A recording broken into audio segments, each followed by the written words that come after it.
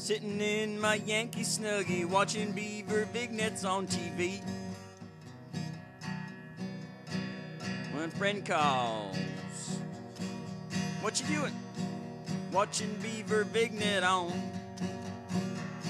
TV. Is that some kind of Canadian porn, yes? Nah, I say, just Canadian TV at its finest. Hey, got me one of those Yankee snuggies, I say. Is that an American t shirt that doesn't fit quite right, he asks? Nah, blanket with sleeves, I say. That's uh, messed up, he says. He tells me one of those your mama jokes, you know the kind. And I say, oh yeah? Your mama's so dumb. She stands on the side of the highway with a slow sign, she doesn't work for the highway department.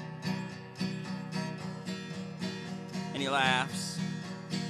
I gotta go, he says. I have to pick up a goat.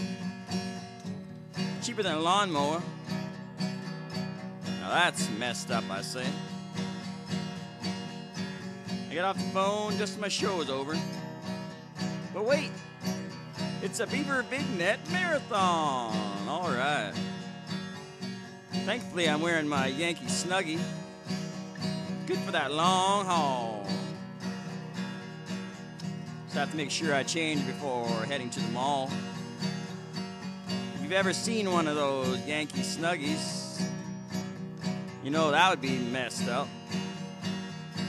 Sitting in my Yankee Snuggie watching that Canadian TV. Learn about those buffaloes and beavers. Too bad it's not 3D. Then those old buffaloes and beavers would jump right out at me. Think it's time for a bigger TV.